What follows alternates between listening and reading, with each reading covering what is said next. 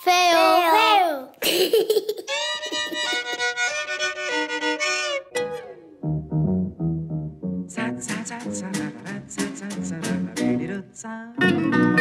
El Paperollalo fabrica parrulos amarelos dende 1941. Parece mentira que non os saiba. Oh, amarelo.